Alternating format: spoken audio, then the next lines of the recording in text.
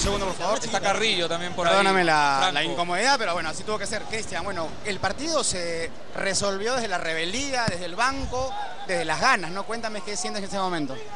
Sí, bueno, fue un partido que contra la adversidad, eh, tenemos que, que seguir luchando, eh, fue un partido bonito para, para la, la afición, que, que se vaya contenta el último partido de- del año y, y bueno, muy, muy, muy contento. Ha sido la primera vez en la era Bengoechea que se puede remontar un resultado que.